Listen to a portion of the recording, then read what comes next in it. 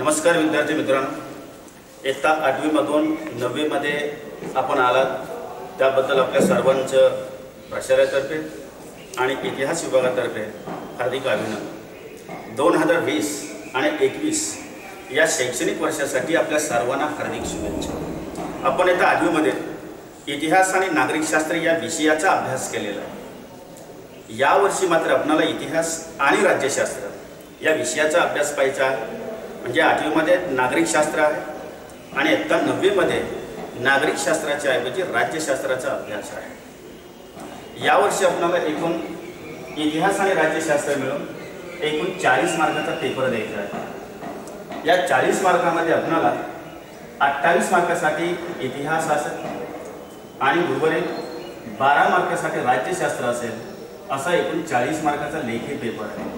आणि प्लस दहा मार्क जे आहेत ते आपल्याला इंटरनल अंतर्गत मूल्यमापनाचे मिळणार आहे.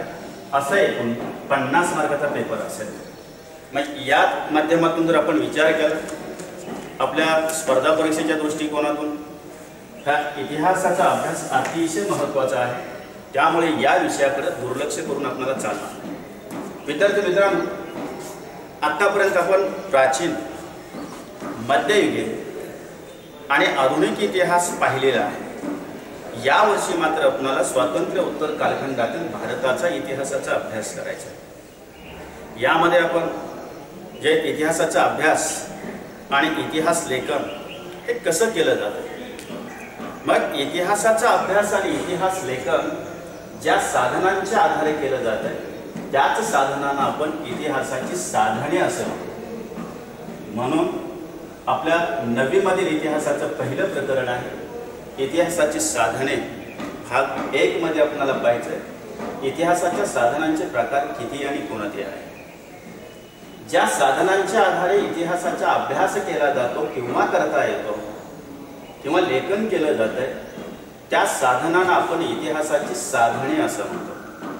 मग इतिहास लेखन करत असताना आधुनिक कालखंडामध्ये त्या इतिहासाच्या साधनांचं वर्गीकरण एकूण चार प्रकारामध्ये केलेलं आहे.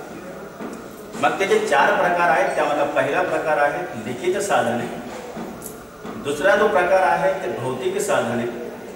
तिसरा जो प्रकार आहे तो तिसरा जो प्रकार आहे दृकश्राव्य साधने. आणि या माध्यमातून जर आपण विचार केला तर याच मौखिक साधने हा एक प्रकार आहे. जो चौथा प्रकार आहे तो मौखिक साधने आहे.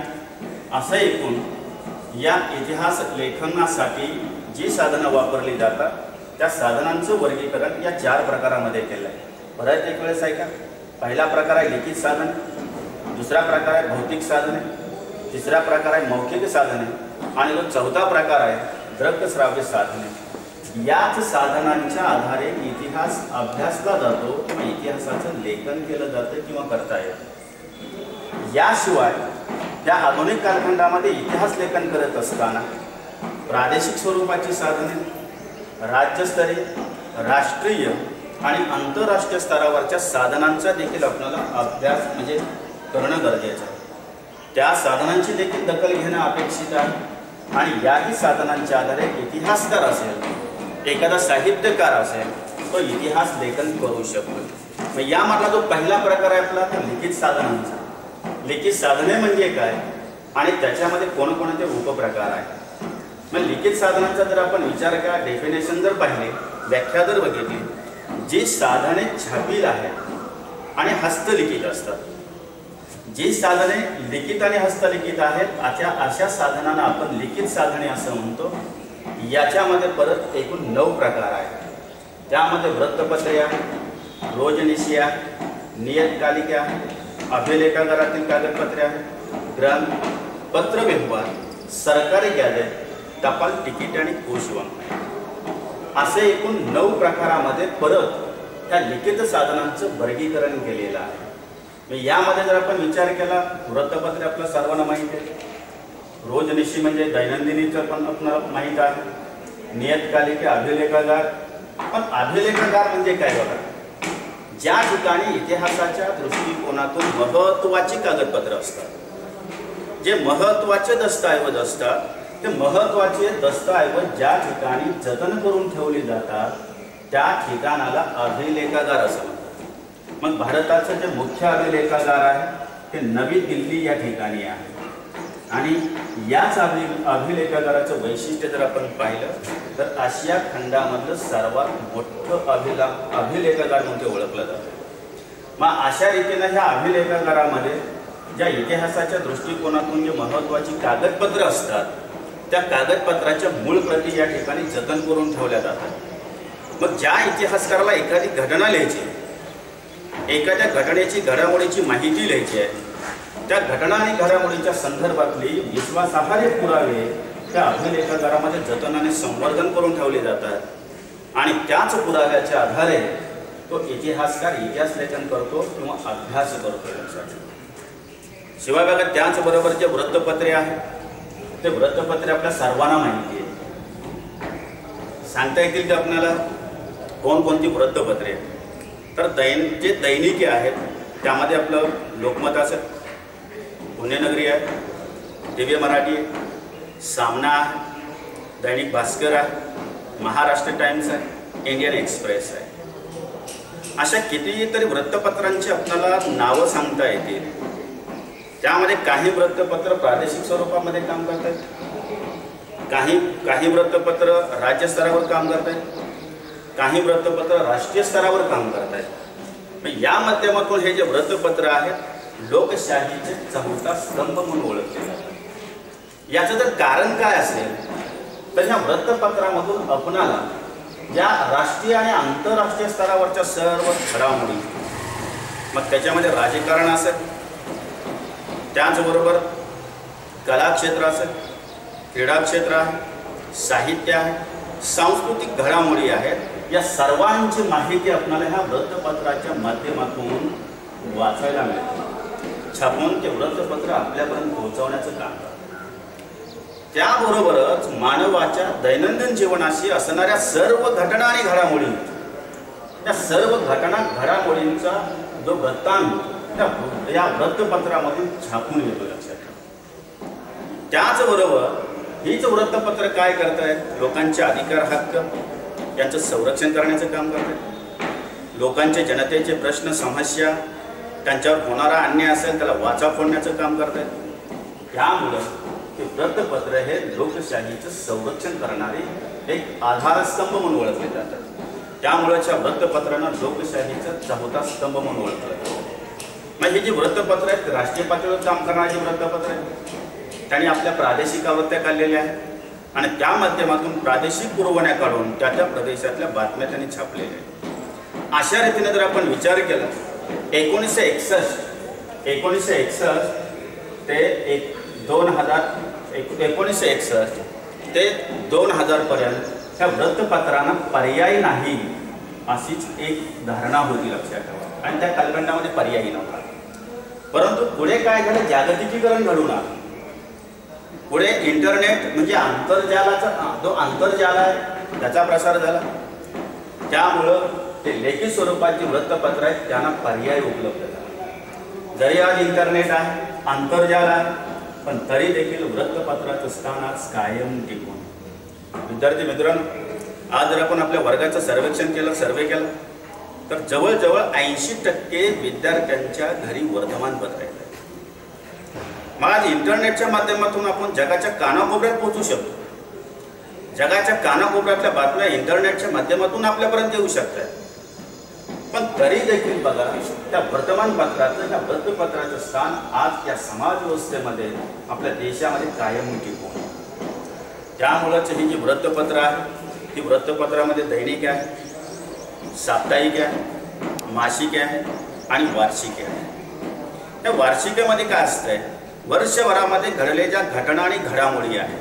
त्या घटना आणि घडामोडींची माहिती या वार्षिकामध्ये छापून दिली जाते. म्हणजे वर्षभरामध्ये घडलेल्या घटना आपल्याला वाचायला मिळू शकतात. काही वर्तमानपत्र काय करतात?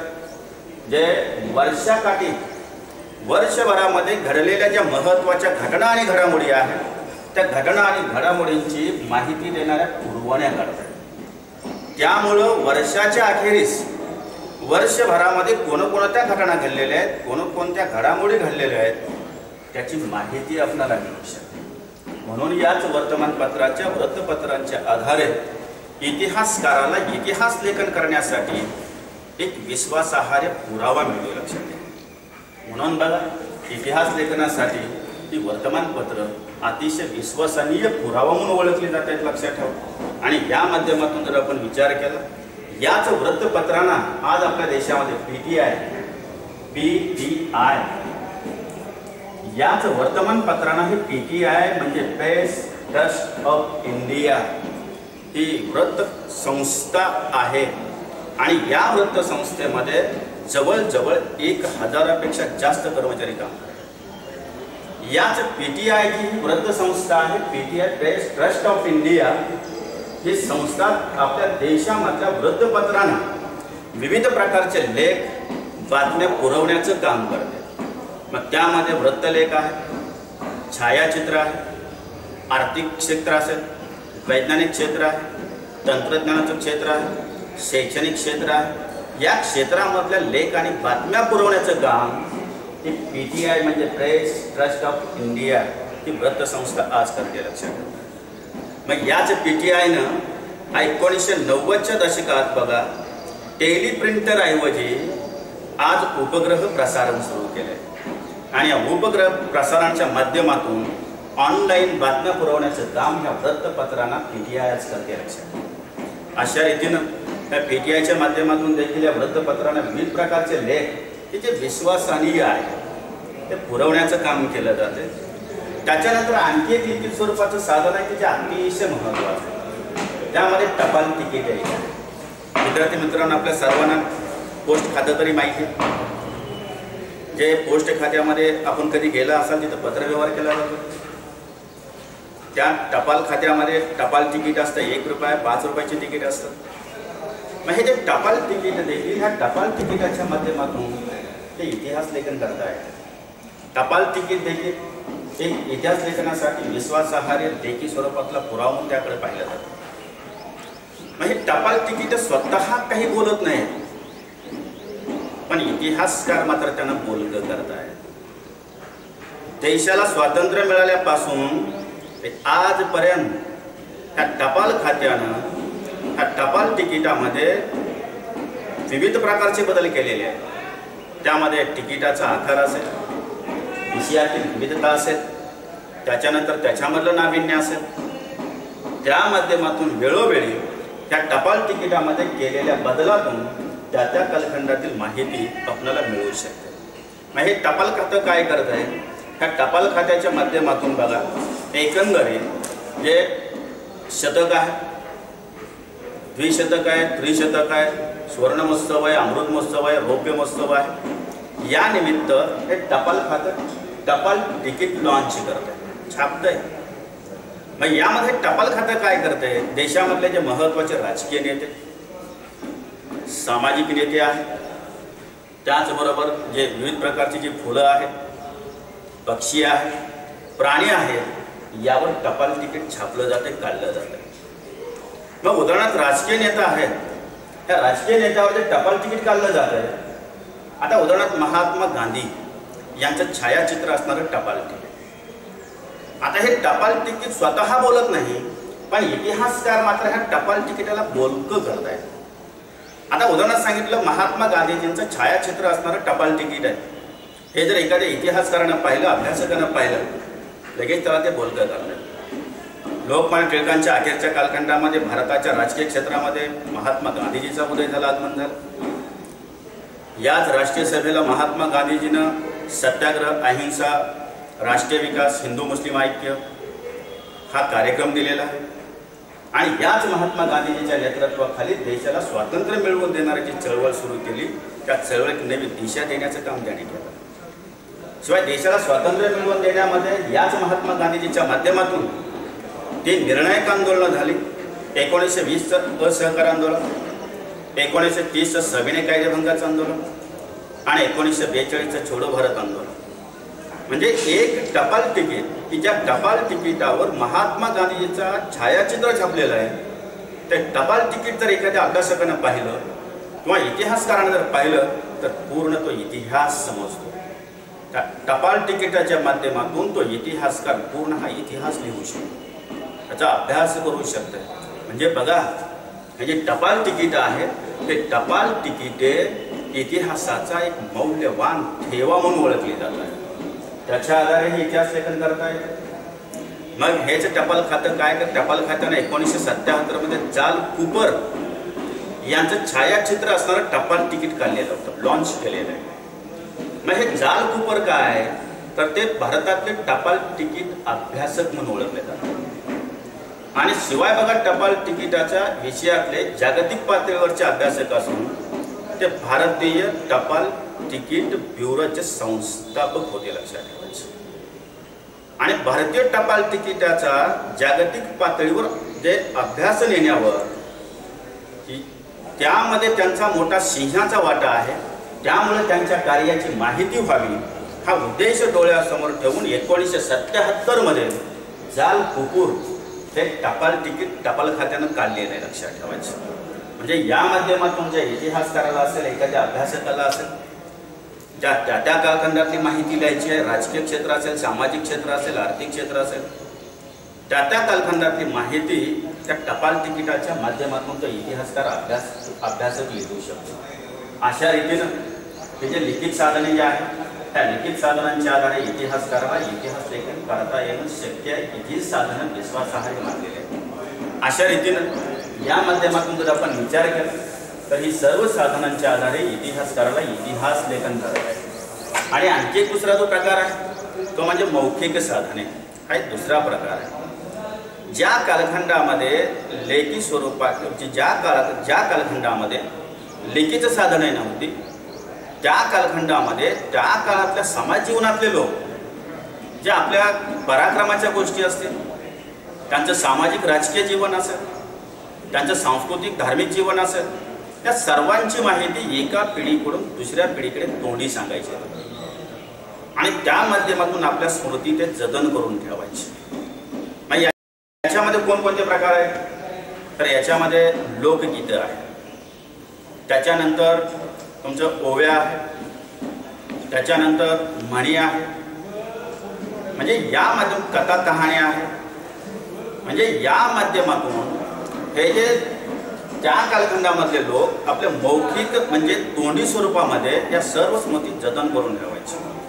की जसं अण्णाभाऊ साठे लोकशाहीर आहे की त्यांनी पोहवाडे गायलेले आहे आणि त्याच पोहवाड्याच्या माध्यमातून त्या कालखंडातलं राजकीय आणि सामाजिक जीवनाचं वर्णन त्यांनी केलं.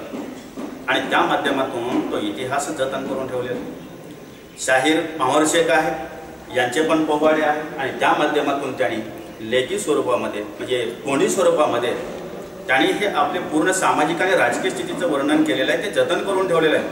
पण आज त्या मौखिक साधनांना लेखी स्वरूप प्राप्त झालेलं आहे. ती सर्व मौखिक साधने आज लेखी स्वरूपामध्ये उपलब्ध आहेत. यावर तुम्हाला हे जे इतिहासाची साधनं आहेत यावर तुम्हाला संकल्पना चित्र तयार करा असा दोन मार्कासाठी प्रश्न आहे. त्यासाठी आपण काय करायचे? मध्यभागी एक बॉक्स तयार करायचे. हा मध्यभागच्या बॉक्समध्ये जे इतिहासाची साधने असे आपण मुद्दा टाकायचा आहे. आणि त्याच्या चारही बाजूला परत एक एक बॉक्स आखायचे असे चार चौकोन आखायचे आणि प्रत्येक चौकोनामध्ये एक एक साधनांची माहिती लिहायची. यामध्ये तुमची भौतिक साधनं असते हा पहिला प्रकार आहे. दुसरा आहे लिखित साधने आहेत. हा दुसरा प्रकार आहे. तिसरा जो प्रकार आहे दृकश्राव्य साधनं आहे. दृकश्राव्य साधने आहे. आणि जो चौथा प्रकार आहे तो मौखिक साधने आहे. असे एकूण चार बॉक्स आकायचे या पद्धतीनं प्रत्येक बॉक्स आपण पूर्ण करायचा आहे. आणि हा जो प्रश्न आहे संकल्पना चित्र तयार करा. हा आपल्यासाठी दोन मार्गात असतात. अशा रीतीने असे प्रश्न येतील. हे जे मुख्य साधनाचे चार प्रकार आहेत याच्यामध्ये परत हे उपप्रकार आहे त्याच्यामध्ये परत उपप्रकार आहे त्याच्यावर देखील संकल्पना चित्र तयार करा असा प्रश्न आपल्याला येऊ शकतो. तर आपण या पद्धतीनं हे संकल्पना चित्र तयार करायचं. अशा रीतीनं आज आपण ह्या इतिहासाच्या साधनांचे दोन प्रकार पाहिलेले आहेत. एक आहे लिखित साधने आणि दुसरं आहे मौखिक साधने. उर्वरित पुढच्या तासामध्ये आपल्याला जे दोन मुख्य प्रकार आहेत ते पाहिजे तोपर्यंत धन्यवाद.